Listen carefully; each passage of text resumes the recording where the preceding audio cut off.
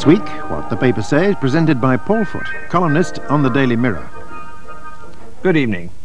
I'm sorry to start this programme up again on a sombre note, but it's been a grim week for journalists.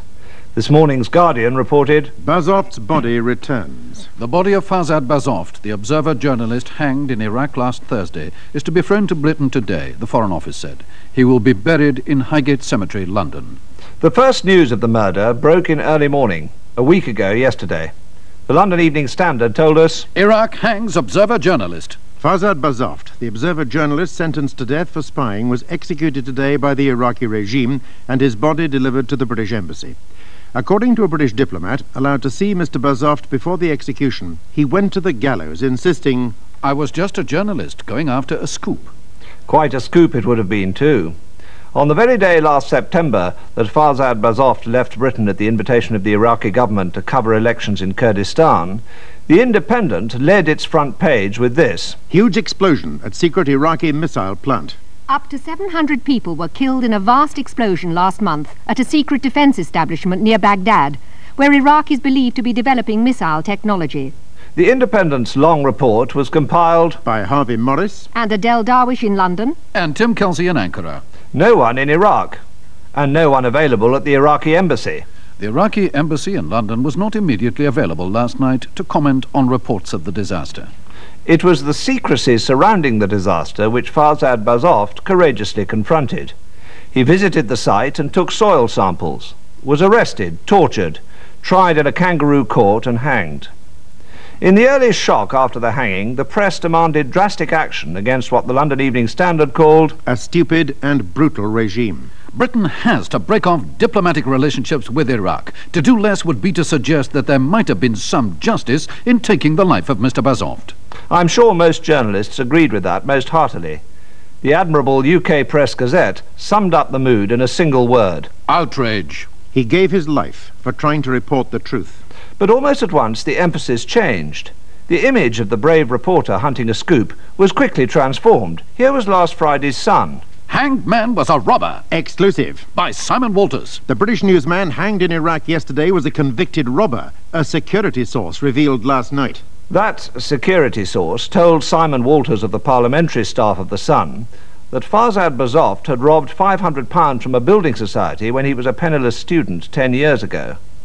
Someone also told the Press Association, even earlier than The Sun. As early as 2.55 p.m. on the day of the hanging, the Press Association's political correspondent, Chris Moncrieff, had written this article. It started, Observer reporter Farzad Bazoft, executed in Baghdad for alleged spying, served a prison sentence in Britain for robbery. Who told the Press Association? Government sources said tonight. Aha! Government sources. Which government sources? The following day, the Mirror's Sylvia Jones wrote this. A Tory MP dished the dirt on hang newsman Farzad Bazoft in a bid to justify the government's feeble response to the barbaric execution. He leaked details of 31-year-old Bazoft's stretching jail to try to discredit him at the height of world outrage about the hanging. At the same time, the government declared there would be no break in diplomatic relations with Baghdad and no trade sanctions. The coincidence was engineered by Whitehall's Dirty Tricks Department, Last night, the finger was being pointed at the Home Office. There was some confirmation of this the following day in the Sunday Correspondent. The Foreign Office yesterday repeated its vehement denial that it had been responsible for any leak.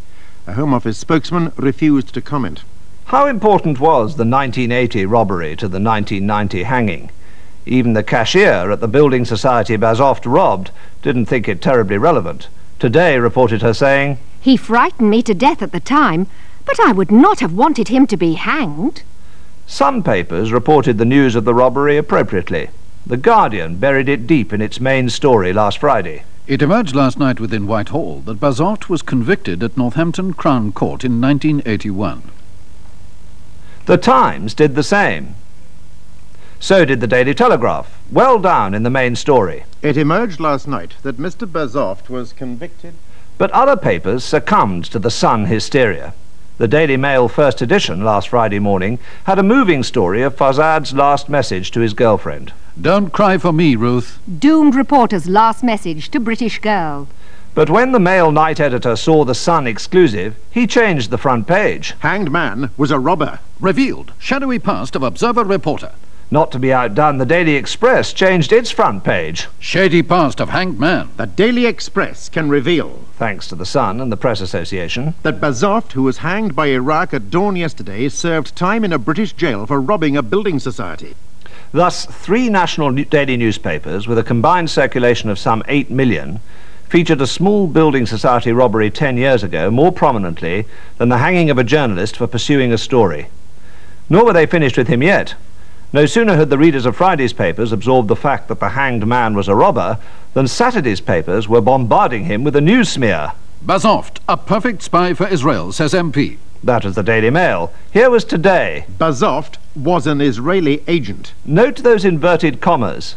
They mean that someone says Bazoft was an Israeli agent. Who could that be? Tory MP Rupert Allason, who uses the pen name Nigel West, said, It is highly likely he tried to capitalize on his knowledge by offering information to Israel. Mr. Allason then produced his evidence. He had contacts in the Middle East, spoke Farsi, and worked for a reputable newspaper. Mr. Allason has some very good sources in MI5. So has the other source of last Saturday's smear. Here was the Sun. Top espionage expert Chapman Pincher last night supported claims that Farzad Bazoft spied on Iraq for Britain. He said Bazoft could have established links with MI6 after his jail sentence for robbery. By Sunday, it was perfectly clear that Farzad Bazoft was not a spy. The Observer rose to its journalist's defense. Bazoft, not a spy, official. Highly placed government sources who have made exhaustive checks with international intelligence agencies last night categorically confirmed that observer journalist Farzad Bazoft was not a spy. The Observer reporter John Merritt also revealed Mr. Pincher said yesterday that he had been misquoted and never said, or intended to say, that Bazoft was a spy. The Observer's line was well supported by the Sunday newspapers. British intelligence sources told the Sunday Times it would be Inconceivable. for either MI5 or MI6 to take on someone of Bazoft's criminal background. He is exactly the kind of man we would not have anything to do with. And the Mail on Sunday had. Hanged Bazoft cleared of spying. But the stories about the robbery and the spying had already had one important effect. The early demands for tough trade sanctions quickly dried up. A more realistic view began to prevail. A Today leader pointed out Withdrawing our ambassador and sending home a few students will hardly rock the Hussein regime or teach it civilized manners. We are, however, in no moral or practical position to do more. the Daily Mail agreed. The temptation to respond further by breaking off diplomatic relations should be resisted. Woodrow Wyatt of the News of the World, who can usually be relied upon to tell us what they are thinking in 10 Downing Street, chimed in realistically. It's ridiculous to reduce or cut off our trade. Instead, Lord Wyatt recommended Maximizing trade and saying nothing more about Bazoft. a powerful voice against this sort of stuff was raised by the master columnist Keith Waterhouse in the Daily Mail on Monday. He recalled a family, the Belchers, in the street he was brought up in.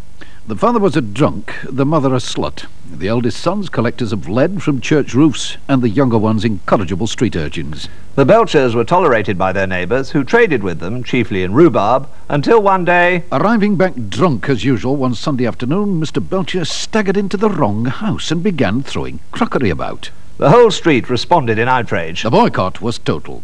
The Belchers, by their behaviour, had forfeited their place in a civilized community. Keith Waterhouse concluded. Self-righteous or not, I believe we were on morally higher ground than the British exporters, whose immediate reaction to the execution of Farzad Bazoft was that it must not be allowed to threaten the 450 million pounds worth of business we are doing with Iraq. The view is that they are businessmen, not politicians, and that they have achieved good personal contacts in Iraq, which should not be affected. Of course not, unless they decide to hang a few British exporters, when I bet it would quickly turn out that we don't have to trade with the Iraqis after all. As I say, a voice in the wilderness. Most editors and commentators moved on from insulting the dead man to criticising his editor. This news sport started in the Daily Express last Saturday. Editor blamed over Bazoft's death trip. Tory MPs criticised Observer editor Donald Trelford last night for sending Farzad Bazoft on the assignment that led to his death. They said it was Highly irresponsible. for the newspaper to send an Iranian with a hidden past on such a dangerous mission. Senior backbenchers said the criticism levelled at the government over the affair should be directed at Mr. Trelford. The Express complimented this news story with a vast editorial attacking the Observer, which ended with a piece of humbug so monumental that I will quote it.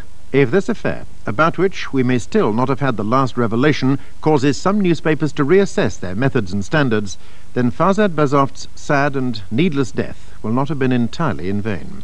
Pass the sick bag, Alice, as old John Junor used to say in the Sunday Express. In the Mail on Sunday, however, old John Junor was calling up sick bags all over the other people's efforts with spying, for which the ultimate penalty must, alas, in some circumstances be paid. So remote was the Telegraph from fact-gathering disciplines that he could not even tell the story straight. It said the Observer sent Bazoft to Iraq five times, when the truth was that Iraq invited him six times, on two of which he offered stories as a freelance writer to the Observer.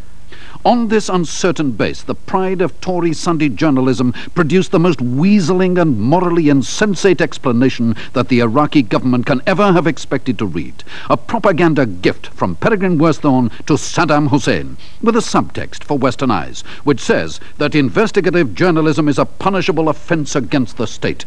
Hugo Young then summed up the whole week's work on the Bazoft atrocity by the journalists who might have been expected to have shelved their petty squabbles and circulation wars in exchange for a little solidarity with a murdered colleague. Thus was an event of utmost horror rendered banal, even excusable.